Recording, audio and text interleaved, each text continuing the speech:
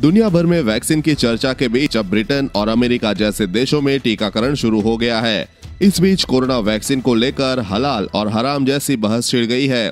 कुछ धार्मिक समूह प्रतिबंधित सुअर के मांस से बने वैक्सीन से संबंधित उत्पादकों को लेकर सवाल उठा रहे हैं, जिसके चलते टीकाकरण अभियान में बाधित होने की आशंका जताई जा रही है। रिपोर्ट्स के मुताबिक वैक्सीन के भंडारण के दौरान उनकी सुरक्षा और प्रभाव बनाए रखने के लिए सुअर के मांस से बने जिलेटिन का बड़े पैमाने पर इस्तेमाल किया जा रहा है। हालाँकि कुछ कंपनियाँ सुअर के मांस के बिना टीका विकसित करने पर कई साल तक काम कर चुकी है।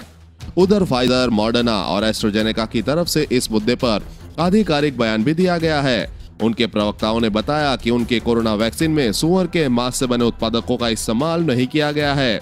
हालाँकि अन्य कंपनियाँ ऐसी है जिन्होंने यह स्पष्ट नहीं किया है कि उनके टीकों में सुअर के मांस से बने उत्पादकों का इस्तेमाल किया गया है या नहीं।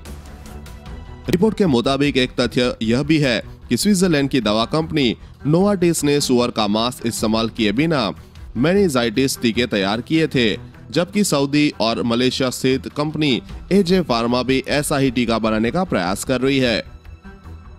कोरोना वैक्सीन हलाल।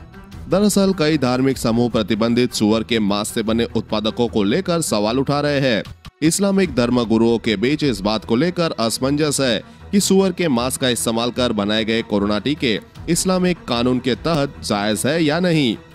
इंडोनेशिया जैसे बड़ी मुस्लिम आबादी वाले देशों में चिंता पसर गई है।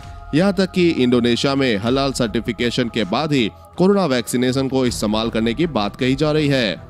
इस पर ब्रिटिश इस्लामिक मेडिकल एसोसिएशन के महासचिव सलमान वकार का कहना है कि ऑर्थोडॉक्स यहूदियों और मुसलमानों समेत विभिन्न धार्मिक समुदायों के बीच टीके के इस्तेमाल को लेकर असमंजस की स्थिति है, जो सुअर के मांस से बने उत्पादकों के इस्तेमाल को धार्मिक रूप से अपवित्र मानते हैं।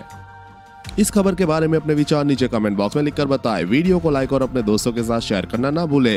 साथ ही कोरोना वैक्सीन से जुड़ी हर खबर सबसे पहले पाने के लिए चैनल को सब्सक्राइब कर ले।